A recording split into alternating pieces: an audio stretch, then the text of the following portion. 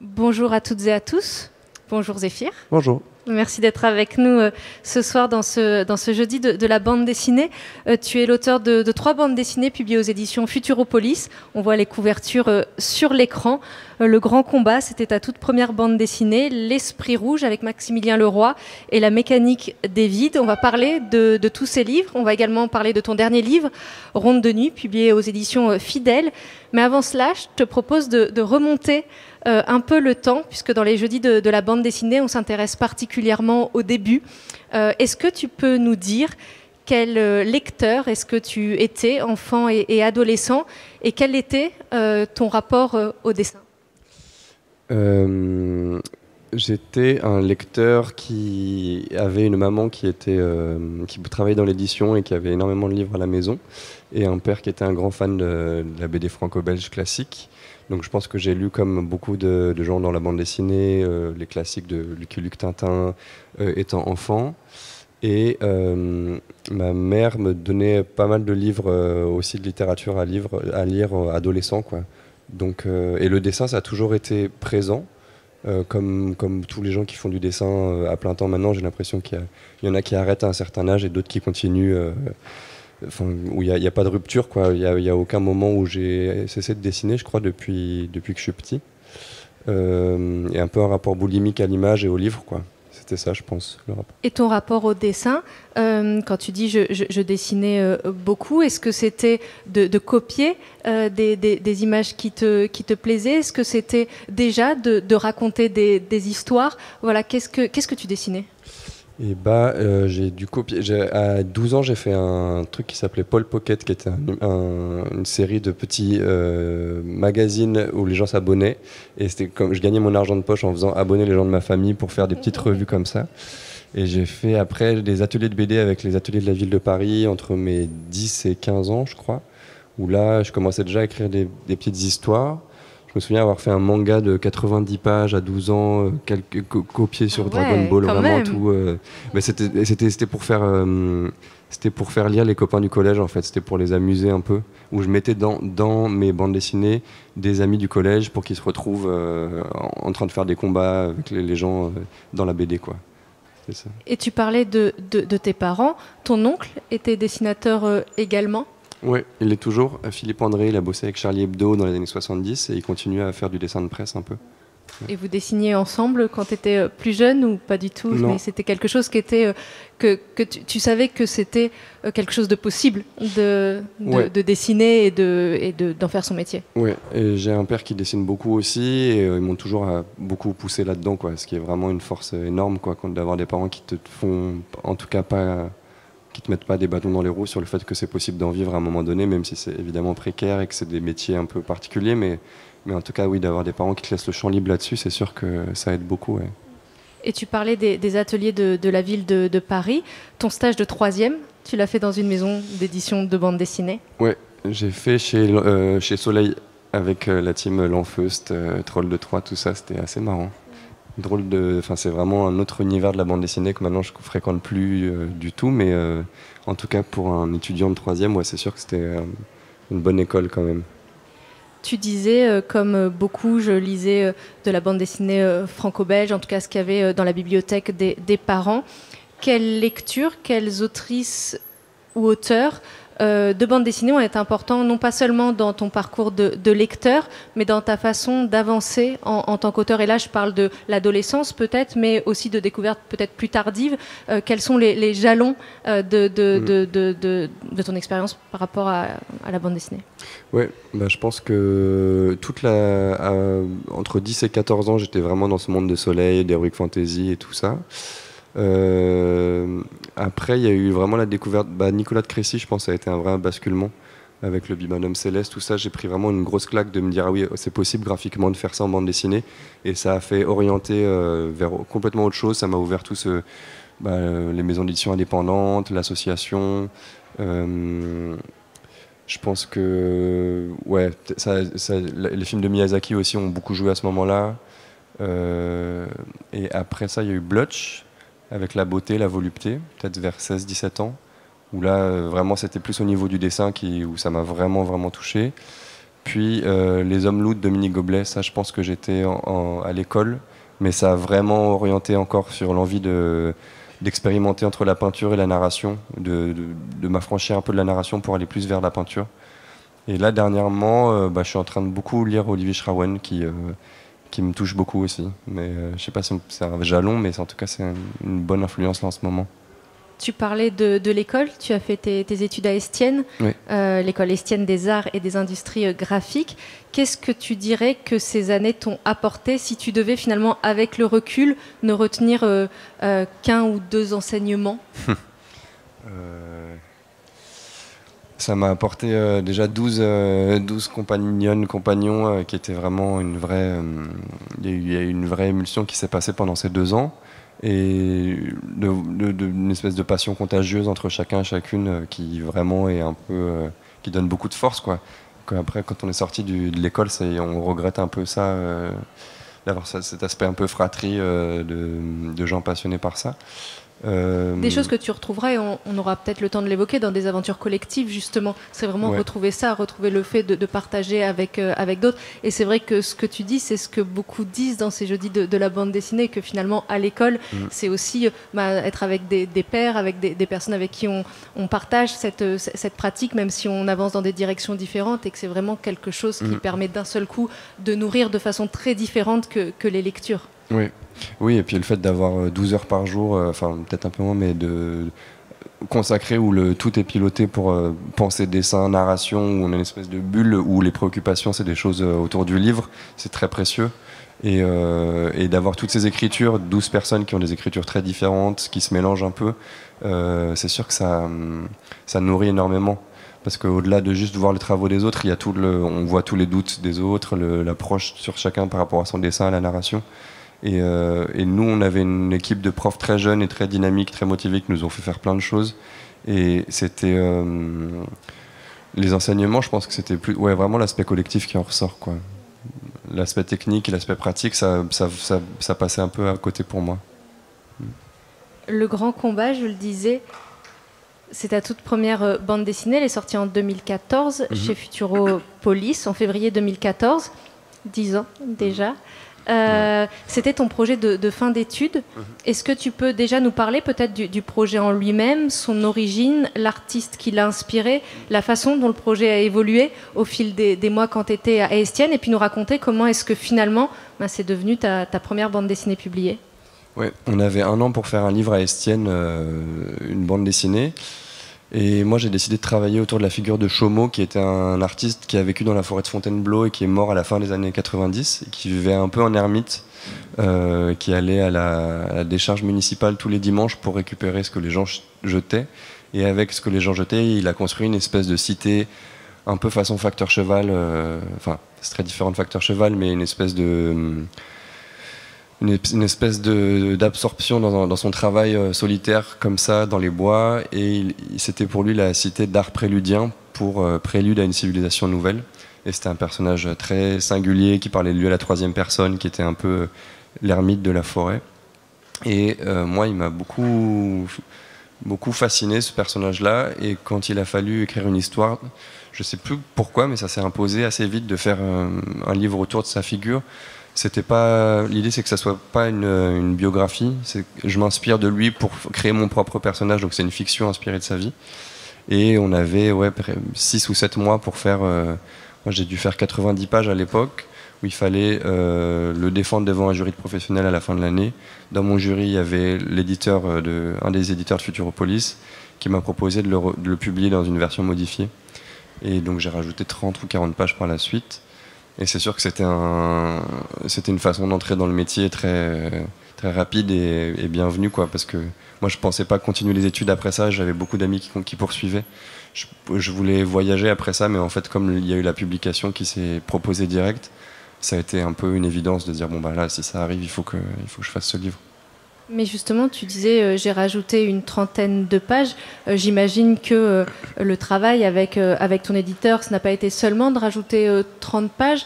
Qu'est-ce qui l'a fallu, j'allais dire, modifier? Peut-être que ce pas des énormes modifications, mais en tout cas, pour faire en sorte que ce soit un récit publiable, sur quoi est-ce que vous avez retravaillé ensemble?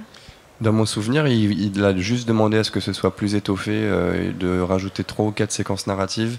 Et en fait, les pages de bande dessinée sont. Euh, il y a aussi des, parties muettes de peinture qui, qui, sont intercalées. Donc il fallait que j'étoffe un peu les deux, mais il m'a pas demandé de retravailler grand chose à part ça, je crois. Et un mot quand même du, titre, euh, puisque Le Grand Combat, c'est aussi le titre d'un poème d'Henri Michaud, qui est aussi quelqu'un qui est important pour toi, qu'on retrouve en exergue mm. euh, de ta dernière bande dessinée. Mm. Ouais, euh, j'avais fait une, espèce de petite BD avec ce titre-là avant et je crois que ça s'est un peu imposé rapidement. Euh, j'aimais bien l'idée où le grand combat, on s'attend à quelque chose de très, de très grandiloquent alors que la, BD est très lente et muette et que c'est juste le combat intérieur de cet homme dans, dans les bois. Et oui, mais c'est un petit clin d'œil à Michaud qui, ouais, qui effectivement me suit depuis longtemps. On va parler, euh, quand on parlera de, ta dernière bande dessinée, de, la technique et peut-être de, l'évolution euh, de, ta technique, de, ta façon euh, d'appréhender la, bande dessinée. Là, j'aimerais qu'on avance un tout petit peu rapidement pour, aller jusqu'à quelque chose de, plus contemporain. Après le, grand combat, tu as publié, je le disais, avec Maximilien Leroy, L'Esprit Rouge, récit donc du voyage d'Antonin Artaud au Mexique. Qui est-ce qui a initié cette, cette collaboration? Comment est-ce que, est que ça s'est passé, cette cette rencontre? Euh, Maximilien Leroy, c'était un ami depuis euh, longtemps. On s'était rencontrés.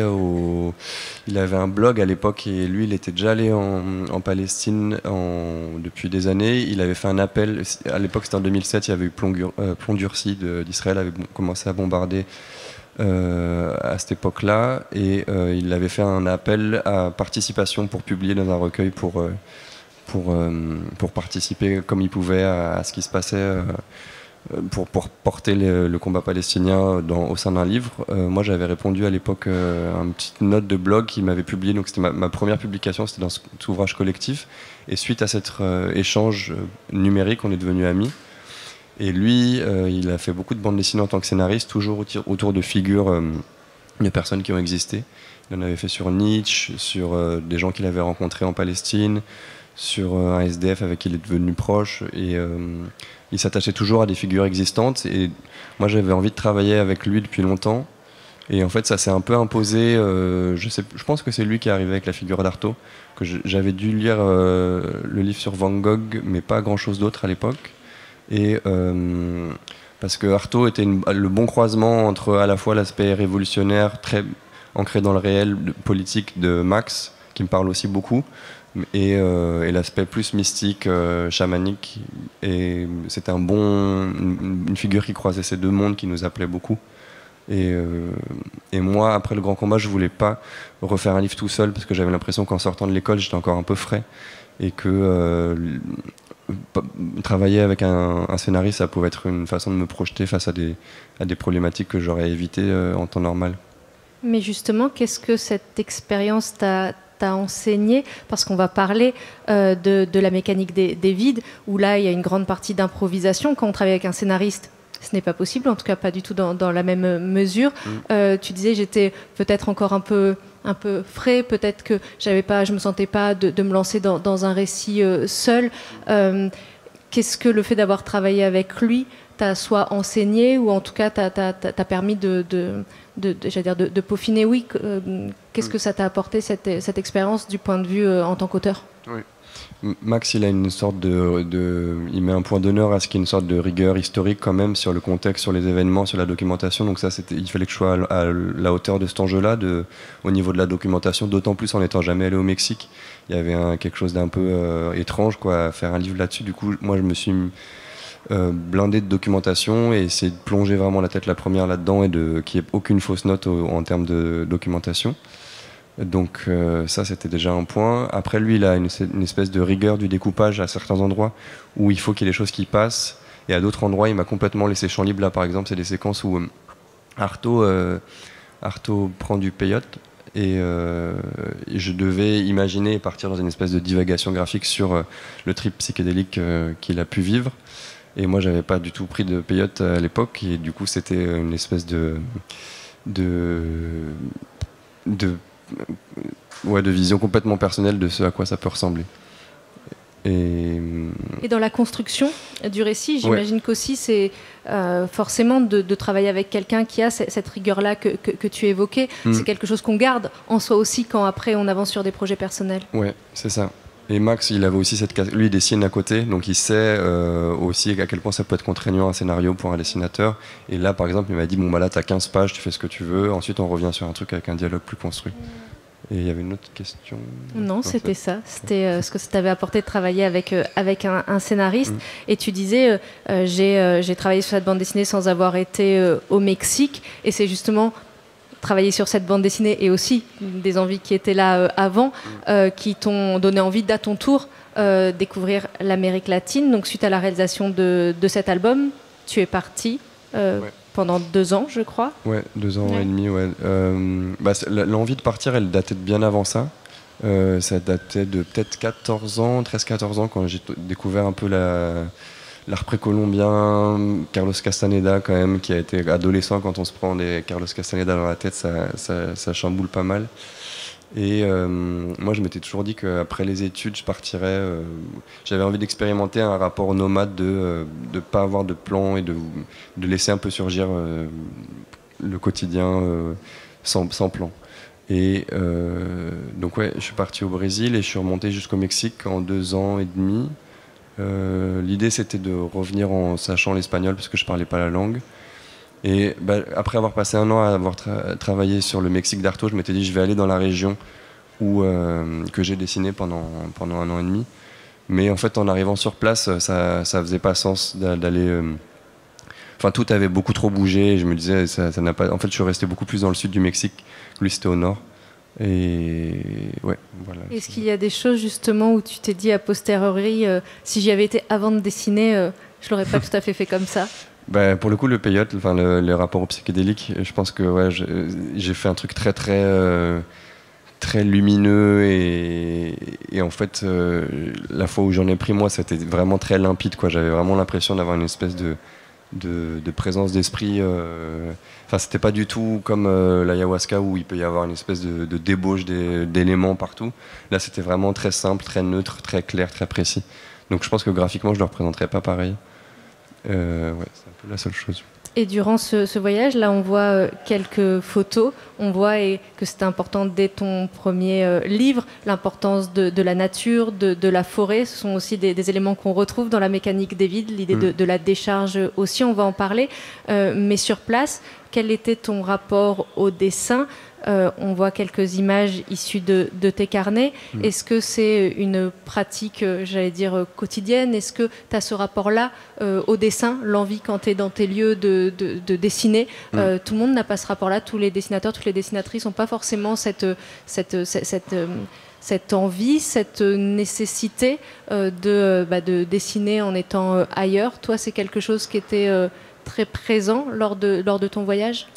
Ouais, bah en fait, je m'étais toujours dit que j'étais pas un dessinateur de carnet et j'enviais beaucoup euh, des gens comme euh, Benoît Guillaume ou Yann Kebi ou ces gens qui arrivent vraiment à se poser, à faire des, à remplir des carnets magnifiques. Moi, j'ai jamais réussi à faire ça. Par contre, en voyage, il y a eu vraiment des, des choses comme ça qui sortaient de sorte de dessin automatique où il y a qu'en voyage que j'ai eu ce rapport au dessin, une espèce de truc très électrique mais je pense que c'était tellement dense les journées qu'il fallait qu'il y ait une espèce de, trait qui sorte un peu vibratoire comme ça. Bon, ça, c'est ouais, clairement lié au psychédélique aussi. C'était vraiment des périodes où, j'étais en train d'expérimenter avec ces différentes substances. Et il y a des choses comme ça qui sont sorties. Et euh, c'était aussi au niveau de l'écriture, moi, où j'écrivais beaucoup plus que je dessinais. Mais euh, Ouais, en fait, quand j'étais en voyage, il y a Stéphane Blanquet qui m'a proposé de faire un petit, euh, un petit livre pour, son, pour l'écrou électrique. Et donc ça, c'est des choses qui, qui, sont sorties à ce moment-là. Ouais, tout ça, ouais. Ce qui veut dire que par exemple, là, maintenant que tu es revenu depuis plusieurs années, c'est pas forcément une, pratique euh, que tu affectionnes, le, carnet, le fait d'être comme ça, d'être, j'allais dire, tu n'es pas forcément dans une forêt, mais euh, dans, la ville, dans, un parc, et de, te mettre à dessiner, c'est pas forcément quelque chose. Tu, ne ressens pas ce besoin-là, bah, forcément. Je de pas de me dire qu'il faut que je le fasse, mais je le fais pas. Et euh, j'aimerais bien me prévoir un voyage où vraiment dédié au dessin, où je me dis que je pars pour six mois, que, que pour dessiner. Mais pour l'instant, non, je le fais pas.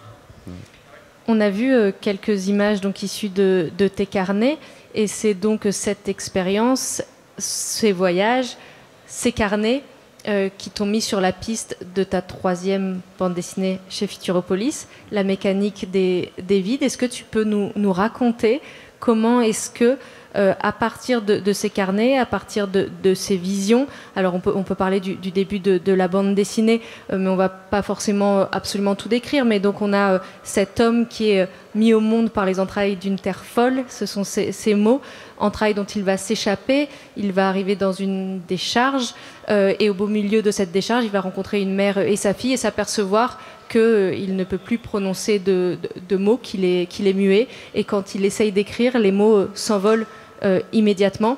Il se trouve que cette mère et sa fille, ce ne sont pas n'importe qui, ce sont des, semeuses de mots.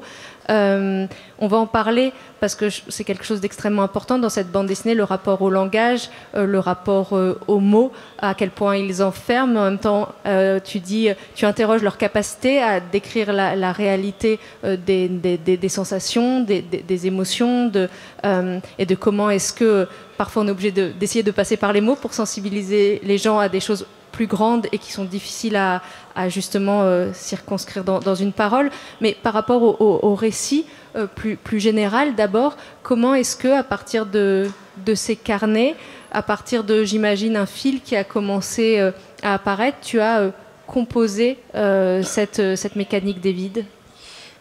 Dès le dès les premières semaines du, du voyage, il y avait un peu. Enfin, j'étais parti en me disant si je veux pas rentrer, je rentre pas. Et si. Enfin, j'étais parti en, laissant la possibilité vraiment à, une évidence de s'imposer au niveau de la vie, de euh, pourquoi pas s'ancrer dans un endroit et pourquoi pas changer de vie.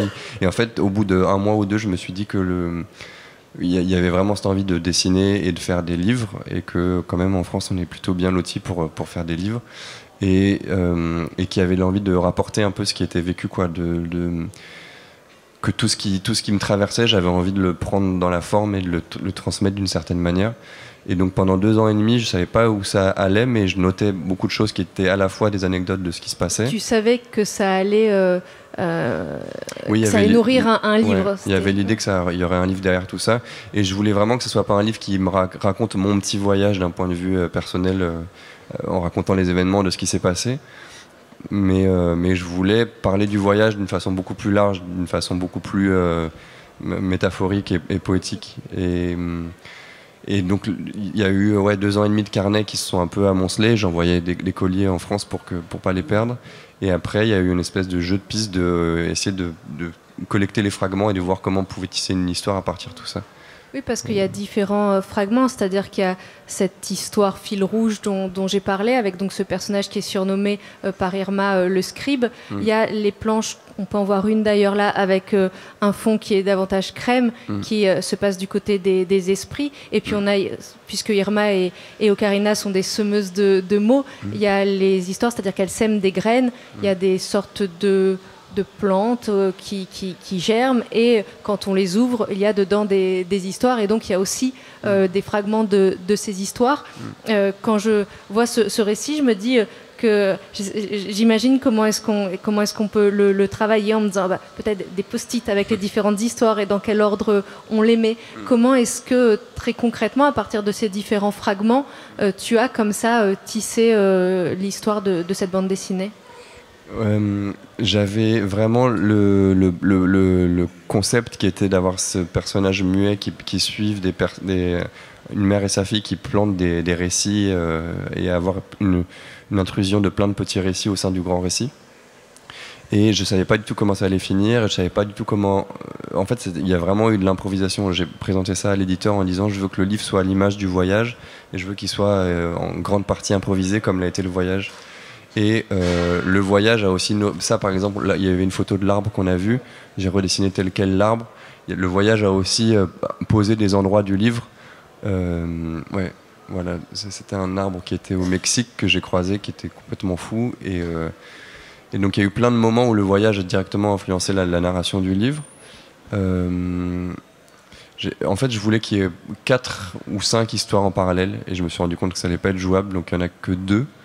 Mais je voulais avoir une espèce de densité d'entrée de, je voulais un peu parce que dans le voyage j'avais ce truc où chaque journée si enfin on peut se lever à un endroit un matin et passer toute une journée avec un certain milieu social et le lendemain matin rencontrer une autre personne ou ça va nous emmener dans un autre univers complètement différent. C'est ce que tu racontes dans cette bande dessinée, avec un moment où ils s'endorment dans un désert et ils se mm. réveillent dans, dans, une jungle, et en disant bah, nous ça va parce qu'on est nomades, mais il y a des gens à qui ça arrive, et en fait ils se réveillent très loin de chez eux, ils peuvent pas rentrer chez eux. Donc c'est mm. ce que tu disais dans l'idée de, de, transformer finalement ce que tu as vécu dans, dans, le voyage à travers quelque chose de, de poétique, de, métaphorique, et d'avoir vraiment euh, quelque chose qui, qui, raconte euh, à travers de la fiction mm. des choses que, que toi tu as vécues. Oui.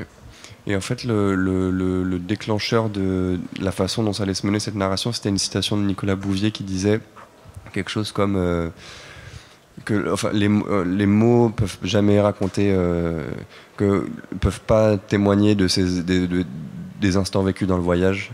Il dit si, ces moments d'extrême joie ou d'extrême tristesse, enfin, que les mots s'arrêtent à un certain point et que par le voyage, mais aussi par plein d'autres choses, hein, par enfin, c'est pas que le voyage, mais là en l'occurrence le voyage, on, va un peu plus loin que les mots et que c'est pour ça que n'importe qui, euh, ça peut être deux ans en Amérique du Sud, mais ça peut être un mois juste hors de son quotidien. On revient et, nos proches nous disent alors comment c'était, on, se sent si limité pour pouvoir témoigner d'un truc comme ça parce qu'en fait l'essentiel il il peut pas être raconté avec les mots et cette espèce de frustration en même temps les mots sont un outil euh, merveilleux et à la fois ils, nous trahissent en permanence et donc euh, je voulais essayer de, jouer avec cette espèce de, paradoxe étrange euh, sur le langage et sur le témoignage du, voyage. Oui, parce que, et c'est ce qu'on a commencé à dire, mais donc c'est aussi un livre sur le langage.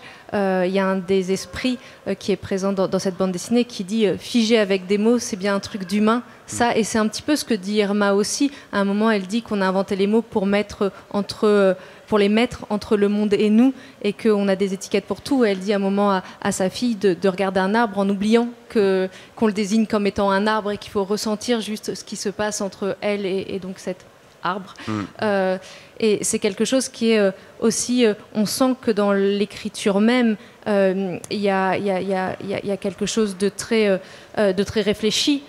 Dans, le choix justement des mots que tu emploies, que ce soit les pensées du scribe ou bien les mots des, esprits à qui on va demander de raconter quel est leur rapport avec la forêt, avec la jungle, en se disant que si on réussit peut-être à témoigner de, de ça, peut-être que les humains en prendront davantage, davantage soin. Comment est-ce que tu as travaillé le, texte de, cette bande dessinée en te disant, voilà, si je fais un récit où je dis à la fois l'importance des mots et en même temps à quel point est-ce qu'ils ne suffisent pas à décrire le, monde, ben forcément, il faut ben, que, que, que, mon texte soit, soit au niveau de, de, cet enjeu. Mm. Ce qui est tout à fait le cas. Mais comment, j'ai travaillé le texte même euh, il y a beaucoup de beaucoup d'extraits du texte qui sont issus de carnets euh, pendant le voyage. Euh,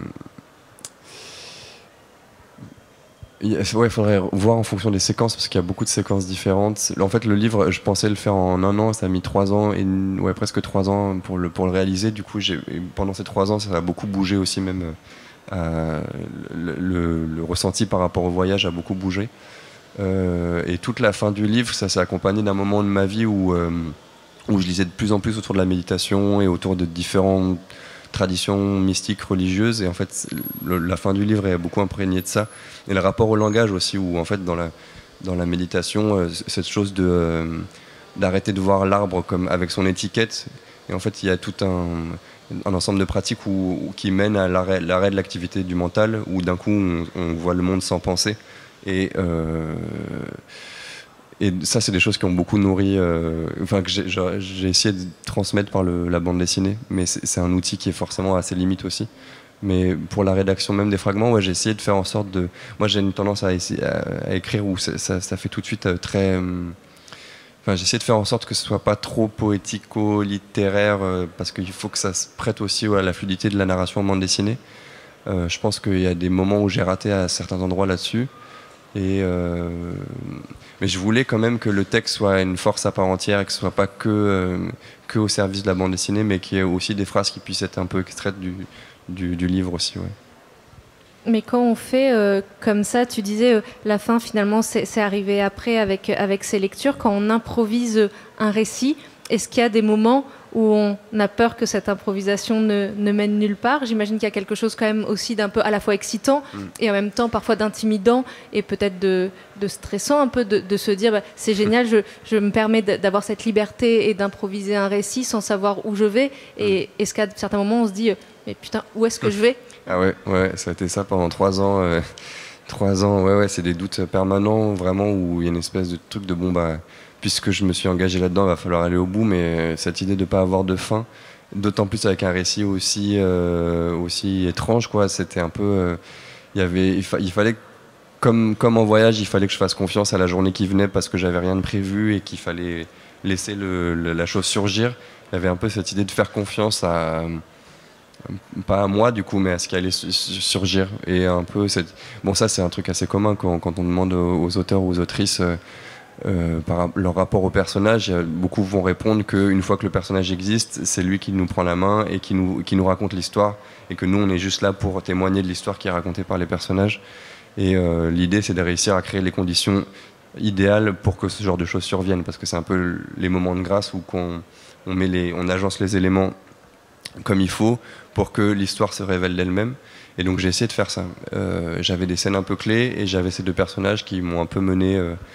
Mais euh, il y, a plein de, y a plein de fautes scénaristiques dans, dans ce livre à plein d'endroits. Mais je pense que, en tout cas au niveau de la, de la charge de émotion, émotionnelle par rapport au voyage, je pense que j'étais assez juste avec ce que je voulais retransmettre. Après, d'un point de vue scénaristique, il y a beaucoup de choses à dire, je pense. Mais il y a quelque chose justement euh, où tu réussis, enfin je trouve en tant que lectrice, à, vraiment réussir à quelque chose qui, dépasse ce qu'on peut percevoir de l'histoire, c'est-à-dire de comment est-ce que on provoque des émotions euh, chez, les lecteurs, les, lectrices, et qui, ben, on revient à cette question du langage, c'est comment est-ce que parfois les choses, c'est inexplicable, si, parce qu'on pourrait trouver pourquoi, et on va parler de technique, on va parler de, de représentation, mais et de ce point de vue-là, c'est extrêmement réussi et je trouve pas que d'un point scénaristique, enfin en tout cas pour le coup ce qui, est très réussi c'est que ça provoque énormément d'émotions, qu'on suit ces personnages et qu'on a envie euh, d'être avec eux, que par moments on est un peu perdu avec les esprits et qu'en même temps ben, on est content aussi d'être d'être perdu et de trouver des choses justement auxquelles on n'est pas habitué dans les récits de, en tout cas dans les récits de, bande dessinée, et de réussir ce, pari assez fou de se dire comment est-ce qu'on représente des choses qui a priori on pourrait penser euh, difficilement représentables parce que est-ce qu'on fiche pas quelque chose dans une représentation quand d'un seul coup on se dit qu'on va euh, dessiner des, esprits euh, et qu'on est sur un défi aussi grand que d'essayer de dire euh, comment est-ce qu'on dit l'importance de, cette forêt, de, cette nature. Donc il y a quelque chose à la fois extrêmement ambitieux et où tu apportes une réponse euh, assez, assez magnifique. Donc euh, ça c'était la, parenthèse. mais on parlait des, des personnages, peut-être un mot de de, ces esprits que tu as représentés. On a vu dans les carnets qu'il y avait des choses qui sont apparues. Là aussi, c'était un moment où il fallait, dans le dessin, euh, être dans un lâcher-prise et essayer de, retrouver ce lâcher-prise qu'il pouvait y avoir dans les carnets en laissant venir des, visions. Tu nous as expliqué dans, quel cadre, mais dans le moment de la réalisation de la bande dessinée, qui n'est pas exactement la même, la même chose, il fallait essayer de retrouver, de, se rapprocher de, cet état de, lâcher-prise et de se dire justement, euh, laisser quelque chose de, sensible advenir en étant évidemment attentif au, dessin, mais sans être dans... Une attention trop précise justement à, à ce qu'on représente pour justement laisser la part à, cette sensibilité-là mm. Ouais, pour cette partie, euh, donc ouais, c'est la partie euh, esprit, enfin dans la jungle. Euh, la technique déjà, ça a été dicté par le voyage aussi. Encore une fois, il y avait quand j'étais en Amazonie, j'ai passé peut-être six mois là-bas et il y avait il n'y avait, y avait pas de quoi dessiner. Enfin, il y avait dans les petites, euh, dans les petites euh, épiceries, il y avait des, des carnets d'écoliers euh, classiques et des bics. Et donc pendant quelques mois, j'avais ça. Et un jour, j'ai mis de, enfin de, l'alcool de pharmacie à 70 ou 80 degrés sur l'encre du bic. Et en fait, ça fait des effets complètement comme ça, un peu vaporeux, un peu et, j'ai passé cinq mois à dessiner comme ça dans mes carnets avec euh, bic et encre de pharmacie. Et je me suis dit que ça semblait logique, de, une fois rentré, d'utiliser cette technique. Parce que ça, ouais, ça, donne un aspect très fantomatique. On peut faire un, dessin très figé, très cerné. Une fois qu'on vient mettre de l'alcool dessus, tout de suite, il y a un côté vaporeux. Euh, ça se prêtait bien au monde des esprits. Euh, le, passage dans la jungle, moi, c'était vraiment une évidence. De, je voulais que ça soit un, environnement très présent dans le livre parce que en, deux jours là-bas, je me suis dit, mais c'est. Enfin, le moindre mètre carré et regorge d'histoire, en fait. Quoi. Il y a tellement de, de strates de, de strates de vie qui se chevauchent là-bas que je me suis dit, j'aimerais bien réussir à raconter une toute petite parcelle de ce que je viens de vivre là. Et... Ouais, mais sans céder à un exotisme qui aurait été d'être avec des couleurs verdoyantes, d'être dans euh, t'échappes quand même à une représentation qu'on pourrait avoir, enfin que moi je peux avoir avec un point de vue euh, très mm. français, euh, qui est d'une personne qui n'a jamais été euh, là-bas, mm. c'est que tu es aussi dans cette recherche-là de, je reviens à ce que je disais, mais de réussir à rendre compte d'émotions et de comment est-ce qu'on se ressent en étant euh, sur place plus que dans euh, voilà il y avait tu l'avais en tête ou finalement ça s'est fait naturellement d'échapper à un certain exotisme qui aurait été de représenter la jungle avec euh, ouais avec des hmm. comme il peut y avoir il y, a du rouge très puissant il y a du bleu très puissant dans la bande dessinée hmm. donc je sais pas si je l'ai pensé comme ça sur le moment mais il y avait cette idée qu'il fallait que le, la jungle soit au niveau de perception des, entités qui, qui étaient les, les, les, héros de cette séquence. Et c'est des niveaux de perception autres que l'humain ça, je pense c'est encore lié au psychédélique où il y a eu des moments où vraiment la jungle m'apparaissait très. Hum, un peu comme hum, quand Frodon met l'anneau dans Le Seigneur des Anneaux, une espèce de. la réalité d'un coup change et, euh, et, la jungle qui, où d'un coup les perceptions changent totalement. Donc il y avait un peu cette idée de montrer une jungle déformée, un peu avec une des perceptions étranges. Euh, mais je ne l'ai pas formalisé comme ça sur le moment. Et puisque tu parlais de la technique, on peut peut-être rester un peu là-dessus. Est-ce que tu peux nous expliquer comment est-ce qu'on a dit qu'il y avait les fragments? Là, on voit un moment où ils sont euh, sur un nuage et puis ils se font euh, chasser. Il faut dire qu'ils naviguent dans les airs avec une pirogue que vous avez vue sur la couverture. Ils s'arrêtent sur un nuage, mais en fait, on les chasse parce que c'est une propriété privée. Donc, ils sèment une graine et il y a une histoire. Donc, vous voyez sur cette image que le propriétaire euh, va lire. Il y a aussi après, ça, c'est un des fragments justement de, l'histoire qui, est lue. Est-ce que tu peux nous parler un petit peu de tes différents outils euh, et de euh, la façon dont tu penses, alors là en l'occurrence avec cette séquence sous les yeux, mais d'une manière peut-être plus générale, tes histoires et les techniques les plus appropriées pour ce que tu veux raconter. Est-ce qu'il y a quelque chose de très intuitif dans, dans, le choix des outils mm. à un moment donné? Comment est-ce que tu as, pensé ça, ça, varie pas mal en fonction des livres, mais là, j'étais vraiment dans des questions qui sont encore plus, euh, plus présentes aujourd'hui pour moi, qui est à ça, le, comment jongler entre le trait et la matière, euh, parce que j'ai vraiment une partie forte de mon travail où j'ai envie d'aller vers la peinture et vers des choses très matiérées et des et, quand je disais Olivier Schrawen, c'est que je, suis fasciné par sa capacité avec juste un trait à synthétiser des, choses dans l'espace. Et dans le livre, là, le livre, il y a beaucoup plus de matière que juste de très simple. Mais les esprits, par exemple, dans la jungle, c'est quand même beaucoup plus. Euh, bon, on en remarque qu'il y a beaucoup de matière aussi là, mais en fait, euh, toute la partie, euh, la page d'avant, ouais, toute cette partie-là, c'est au crayon avec un petit peu de pastel gras par-dessus et des couleurs numériques. J'avais, jamais fait de couleurs numériques et je voulais un peu m'y essayer. J'ai pas mal regretté en cours de route parce qu'en fait, je pensais que ça allait être plus rapide, mais ça m'a pris un temps fou. Et euh, je voulais que le moment où, il y a des histoires dans l'histoire, ça soit avec des. Ça, c'est du pastel à l'huile et, du crayon aussi. Donc, euh, non, ça, c'est vraiment intuitif. Il n'y a pas de système, quoi. C'est vraiment en fonction de, l'histoire, ce qu'elle appelle. Euh, et j'aimerais bien trouver un bon équilibre entre les choses, de trait, entre la peinture et le trait. Mais bon, je pense que ça, c'est. On teste de livre en livre et on n'est jamais trop convaincu, mais. Mais quelque part, j'ai l'impression que c'est ce que te permettait le fait que ce soit une histoire composée de fragments, de se dire justement, j'ai pas envie de faire de choix, mm. et ça permet justement de différencier les différents niveaux à travers quelque chose qui est justement de, l'ordre de, la technique et qui permet de créer une évidence quand on lit, euh, puisqu'on n'est jamais perdu et que euh, c'est cette technique qui fait la différence entre les différentes, euh, les différentes strates. Donc c'est vrai que quelque part, le fait de choisir le fragment, mm. ça te permettait d'exploiter le maximum de, de techniques possibles et de et j'imagine t'amuser euh, bah parce que c'est aussi ça, c'est le plaisir de, la matière, le plaisir du dessin. Oui, oui. Puis l'histoire avait tellement d'entrées et tellement de, de, strates qu'il fallait quand même que vraiment je euh, je prenne le lecteur ou l'électrice par la main et que on, aille ensemble dans des dans des mondes aussi euh, aussi étrange, mais que la narration soit très limpide et, très claire. Donc cette histoire de, changement de technique, ça, aide beaucoup aussi pour qu'on s'y retrouve dans l'histoire. Tu disais, enfin on disait, c'est un récit qui a été improvisé. quelle place pour l'éditeur quand on improvise un récit? Ouais, bah Sébastien, euh, l'éditeur de, Sébastien Gnedig euh, a été super. Lui, il est vraiment, il s'adapte en fonction du, besoin des, auteurs et des autrices. Et moi, ça a été vraiment, euh, je crois que je lui envoyais des salves tous les tous les six mois de planches.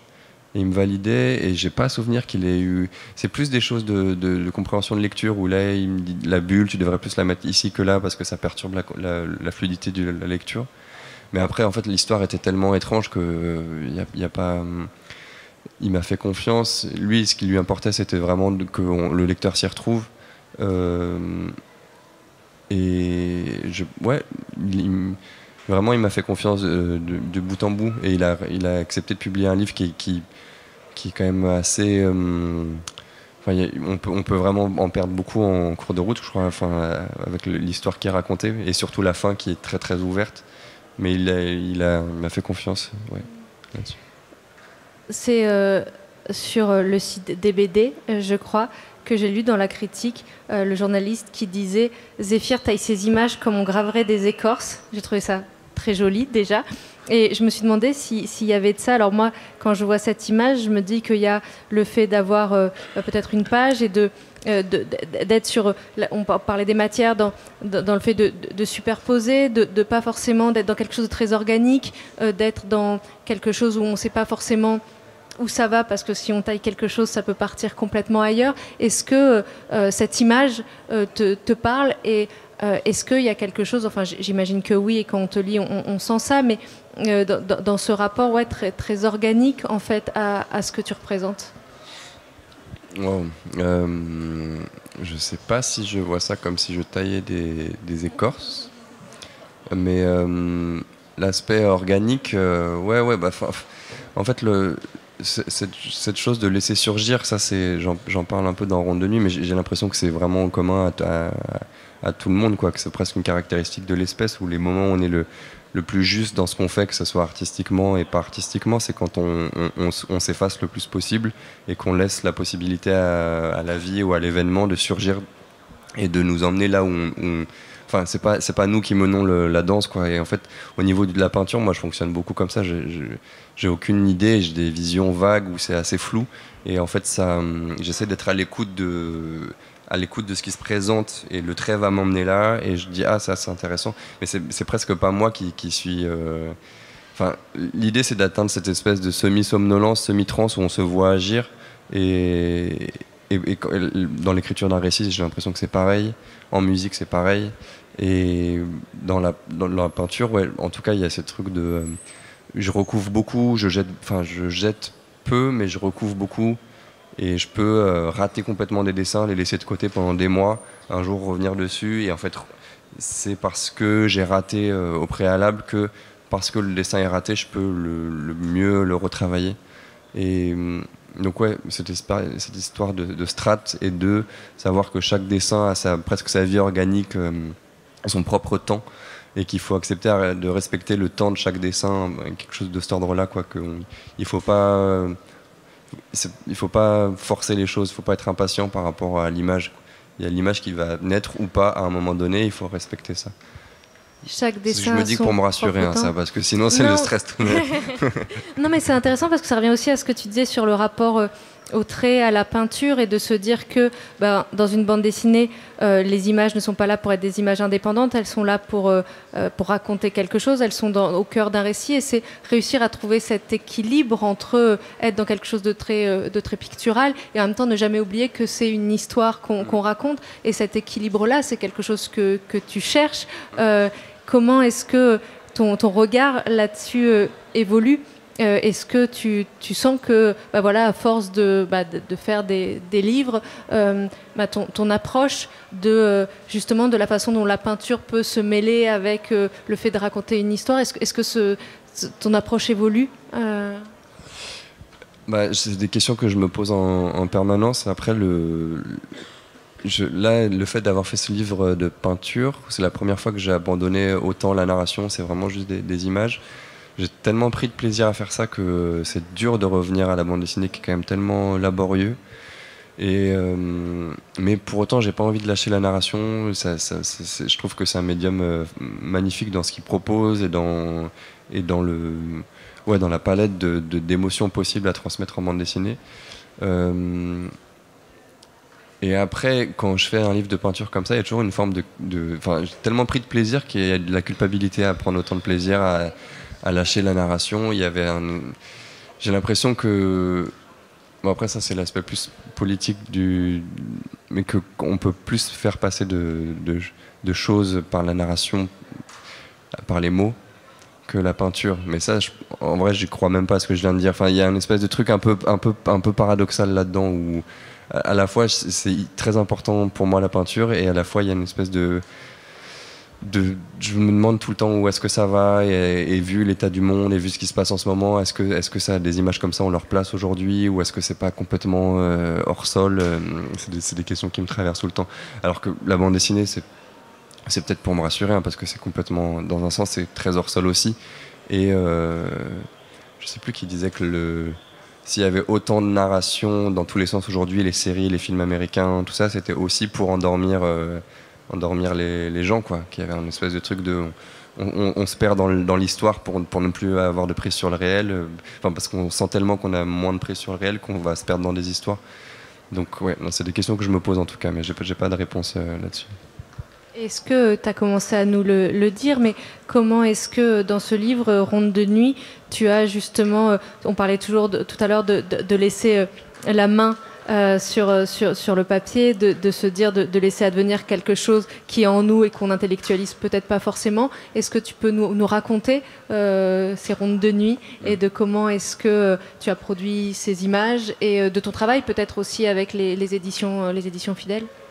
Ouais, euh, bah, suite, à, suite à la mécanique des vides, j'avais envie de lâcher la narration pour aller plus vers la peinture. Euh, il y a eu la possibilité de, faire ce livre qui a donné lieu à une exposition à la Galerie Martel à Paris. Euh, j'avais déjà fait un tout petit livre chez Fidèle dix ans auparavant. Et j'aime vraiment bien déjà la personne de Vincent qui est l'éditeur de chez Fidèle et puis sa vision du livre et, et ce qu'il proposait. Ça s'est un peu imposé euh, de faire ce livre chez lui. Et ça a été très enthousiasmant parce que c'était un projet qui s'est fait très vite. Donc après trois ans pour faire la mécanique des vides, là ça s'est fait en quelques mois. Donc c'était ouais tout s'est enchaîné très bien. Euh, moi j'avais vraiment envie de plus être tout seul dans ma bulle pour ce livre, mais qui est un vrai échange avec l'éditeur, euh, plus sur l'aspect même du livre. C'est lui qui a tenu à ce qu'il y ait autant de textes présents dans le livre. Et je voulais qu'il y ait un graphiste qui investisse vraiment le livre aussi. Et euh, j'avais comme thème l'idée de la ronde et du lien.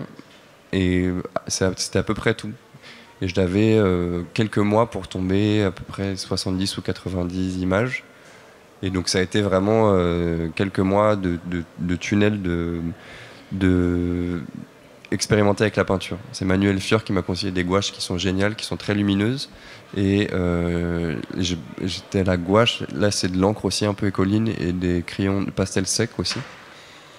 Et euh, ouais, c'était l'idée du lien. Et il y a l'idée de la nature et de la, foisonnance de la jungle aussi qui est assez présente dedans. Mais euh, c'était vraiment une espèce d'improvisation, comme en improvisant en musique ou en danse, quoi, de, de, se laisser aller complètement. Et après, de rédiger des textes sur la pratique du dessin et de mettre en mots un peu. J'essayais de faire en sorte d'écrire ce que j'aimais bien lire chez les autres, à savoir vraiment la petite tambouille personnelle et tous les doutes. J'essaie de mettre vraiment. Euh, c'est assez réconfortant de voir les doutes que chacun traverse. Donc là, j'essaie de, parler de ça, moi, de, mes propres doutes. Le temps euh, passe très vite. Il nous reste euh, quelques minutes seulement et je vais vous laisser la parole évidemment si vous avez euh, des questions pour, euh, pour Zéphyr, mais peut-être un mot justement, tu disais, après la bande dessinée, j'ai ressenti le besoin de faire des images plus libres, de faire des, peintures, mais après avoir fait ces images plus libres, ces peintures, tu as eu cette envie de revenir à la bande dessinée. Est-ce que tu peux nous dire juste quelques mots de ce sur quoi tu travailles actuellement et peut-être justement quelles sont tes, interrogations actuelles? Ouais, je viens de repartir sur un livre qui est pas encore signé, mais qui, qui ouais, ça c'est un peu des, c'est les premières pages. Hein. Je pense que ça va beaucoup bouger. Et là, les couleurs sont très fluo. c'est toujours un peu autour du voyage, mais ça, c'est, c'est, ça va être un, voyage dans un pays imaginaire où c'est inspiré encore une fois de Michaud du voyage au pays de la magie et voyage en grande caravane euh, où Michaud raconte des, des mœurs et coutumes et des peuples euh, très différents de nous, mais à la fois je trouve que ça parle complètement de nos sociétés. Et il y a l'idée un peu de faire ça, de raconter des mœurs et des, coutumes de, peuples imaginaires. Et j'ai pas encore trouvé la bonne forme entre l'aspect littéraire et l'aspect bande dessinée. Mais euh, ça va être, ouais, ça va être le prochain truc qui va me tenir, j'espère, l'année prochaine. Et après, moi, il y a l'idée de faire de la musique un peu aussi, qui, est un autre chapitre encore, mais de, faire ça presque à 50% par rapport au dessin, j'aimerais bien. Quoi comme musique euh, Désolé, j'ai pas d'extrait. j'ai des, des, ça, se profile pour être des sortes de balades à la guitare euh, très, très simples, juste des, des, balades à la guitare. Je vais pas te demander une petite chanson, tu as eu une extinction de voix. Euh, voix. Est-ce que certaines ou certains d'entre vous ont des questions pour, euh, pour Zéphyr, que ce soit sur les projets dont on a parlé ou plus généralement sur la pratique du dessin ou, C'est toujours la première question qui est, qui est compliquée. Ouais. Moi, je ne sais pas exactement comment le formuler, mais j'ai l'impression que toutes tes, cases, elles sont vraiment très, très picturales, enfin très vraiment chacune un peu comme un tableau. Et je me dis que peut-être euh, ce qui est compliqué pour toi, enfin peut-être pas, mais c'est de savoir comment placer le texte. Est-ce que parfois peut-être de, placer euh, la bulle, c'est justement compliqué, parce mm. que peut-être ça dénature euh, ta case. Et peut-être c'est pour ça que tu es aussi entre juste une peinture mm. ou, ou, la BD. Ouais, bah, c'est vraiment des, questions que je me pose là. Bah, ça, typiquement là, ça marche pas du tout le texte. C'était un, un, essai que j'avais fait pour, pour en parler à l'éditeur, mais c'est j'arrivais pas à intégrer ces images dans, dans le, dans enfin, le texte dans l'image. Mais, mais euh, je pense qu'il faut que je trouve un moyen de l'intégrer dedans. Mais euh, bah ouais, ouais c'est toujours cette question de à quel point la bande dessinée, la peinture. Euh, et bah, chez Frémoc, par exemple, il y en a plein qui font de la, de la bande dessinée très picturale avec beaucoup de peinture. Et le texte est rare. Enfin, le texte, il y, a toujours des aspects graphiques où le texte s'intègre à la peinture. Et moi, j'avais pas réussi à faire ça encore. Mais ouais, ouais, c'est tu intègres dans la mécanique des vides, il y a le titre qui est intégré euh, au dessin. Mm. Tu un petit peu comme un prologue, et puis ensuite, comme on pourrait trouver euh, davantage dans les films, euh, mm. la décharge avec comme des, dessiné presque à la lumière le titre du, du livre. Est-ce qu'il y a d'autres questions pour, pour Zéphyr? Non, pas de questions? Bah, merci infiniment. Merci, beaucoup Zéphir. Merci à vous toutes et tous d'avoir été avec nous. Et puis pour celles et ceux qui sont euh, inscrits euh, à l'atelier, euh, restez dans, dans, le coin. Michel Un petit mot avant de, de, vous laisser passer à l'atelier. Alors pendant que je vous parle, je vous fais passer une petite tablette. Si vous voulez être tenu au courant du reste de la programmation, n'hésitez pas à y inscrire votre adresse mail. Et je vais vous embêter, entre temps je vous la fais passer, avec deux trois informations. Donc vous avez les programmes de BD à tous les étages euh, qui sont sur les tables. N'hésitez pas à les prendre, c'est fait pour. Et vous retrouvez le reste de la programmation BD hors les cases, donc juste derrière moi. Donc c'est toute la programmation d'événements, d'ateliers, de performances qui est associée aux expositions. Euh, donc n'hésitez pas non plus à y jeter un œil avant de partir. Et nous, on continue nos jeudis de la BD. On se retrouve la semaine prochaine à nouveau avec euh, Rosalie Schrosser à 19h au même endroit. Donc n'hésitez pas à venir. Et pour celles et ceux qui sont inscrits et inscrites à l'atelier, eh ben, vous pouvez rester ici. Il nous reste de la place. Donc euh, l'atelier n'est pas complet. Donc ceux qui ne seraient d'aventure pas inscrits ou inscrites, bah, vous pouvez rester également. Voilà.